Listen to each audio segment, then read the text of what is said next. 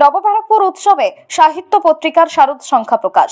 সাহিত্যের উৎসব বা উৎসবের সাহিত্য। দ্বিতীয় বর্ষের উৎসব সাহিত্য পত্রিকা শারদ সংখ্যা প্রকাশ হলো নবব্যারাকপুরে। প্রবীণ নবীনের কলমে আলোড়ন তুলল এই লেখালেখি শারদ সংখ্যাতে। বৃহস্পতিবার বিকেলে স্থানীয় রামকৃষ্ণ বিবেকানন্দ মঞ্চে নবব্যারাকপুর থেকে প্রকাশিত হলো এই লেখা। উপস্থিত ছিলেন কবি তুহিন বন্দ্যোপাধ্যায়, জনস্বাস্থ্য চিকিৎসক ডক্টর কাজল কৃষ্ণ বণিক, প্রাবন্ধিক কালিদাস ভদ্র, লেখক হরিদাস পালা, ডক্টর সুমা বন্দ্যোপাধ্যায় প্রমুখ। উদ্বোধনী সংগীত পরিবেশন করেন শিক্ষিকা সরস্বতী রায় মঙ্গলদ্বীপ প্রজ্বলনের পর উৎসব সংখ্যার মোড়ক উন্মোচন করা হয়। উপস্থিত অতিথি এবং স্বরচিত কবিতা পাঠের কবিদের সম্মাননা স্মারক প্রদান করা হয় এই দিন। উৎসব সাহিত্য পত্রিকার সম্পাদক শিক্ষক বাদল সরকার বলেন, সাহিত্য সাধনায় ব্রতী হয়েছে। পত্রিকার দ্বিতীয় বর্ষ শারদ সংখ্যা প্রকাশিত হলো। সাংস্কৃতিক ঐতিহ্য রয়েছে নবব্যারাকপুরে। সাংস্কৃতিক পত্র পত্রিকা প্রকাশিত হয়। আমরা গর্বিত, গর্ববোধ করি। লিটন ম্যাগাজিনে অনেক কৃতি লেখকদের গ্রন্থ সগৌরবে চলছে। বয়সে তরুণ এগিয়ে চলুন শিক্ষা বাদল সরকার। কবি হরিদাস বালা বলেন, এই ধরনের লিটন ম্যাগাজিনে যত বেশি বেরোবে তত বেশি এই সমাজ উন্নয়নের দিকে এগিয়ে যাবে। সাহিত্যজীবী মানুষের অক্সিজেন নতুন প্রজন্মের কাছে বেশি করে বই পৌঁছে দিতে হবে। অনুষ্ঠান সঞ্চালনার দায়িত্বে ছিলেন কবি সম্পাদক বনানী চক্রবর্তী। আজকে আমাদের, আজকে চতুর্থী, সবাইকে আমরা শারদীয়ার তৃতীয় শুভেচ্ছা জানাচ্ছি।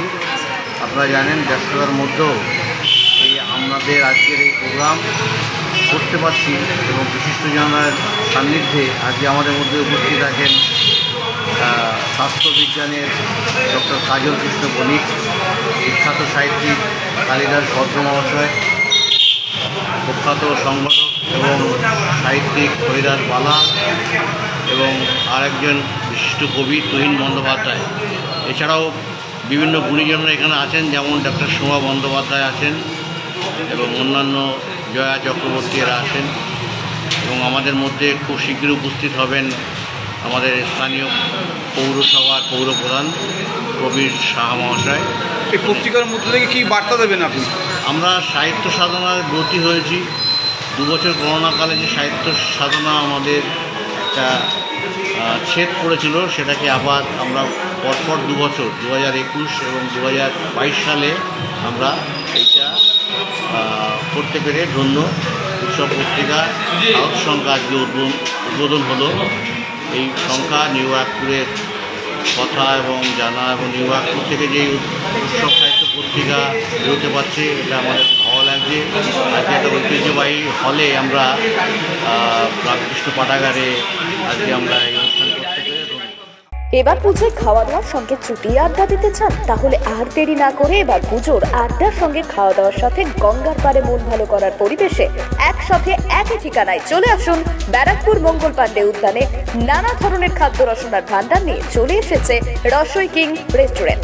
খাদ্য তালিকায় থাকছে ইন্ডিয়ান চাইনিজ তন্দুর, এছাড়াও পুজোর জন্য কিছু আকর্ষণীয় খাবার। তাহলে আর দেরি না করে পুজোর আড্ডায় চলে আসুন ব্যারাকপুর মঙ্গল পাণ্ডে উদ্যানের রসই কিং এ এবার পুজোয় ভাবছেন ফ্যামিলি নিয়ে কোথায় রসনা তৃপ্তি করবেন? আর চিন্তা নেই। এবার মহা পুজোর মহাভোজ নিয়ে হাজির হয়েছে হোটেল ইউ টু, যেখানে থাকছে family rooftop restaurant poolside garden cum restaurant এছাড়াও থাকছে বিশেষ আকর্ষণ আনলিমিটেড বুফে অনেক কম খরচায়। এছাড়াও যে কোনো ম্যারেজ পার্টি জন্মদিনের পার্টি কনফারেন্স পার্টি অ্যানিভার্সারি সহ যে কোনো সামাজিক অনুষ্ঠান করার সুব্যবস্থা রয়েছে। যোগাযোগ নম্বর nine zero five one four three six three one two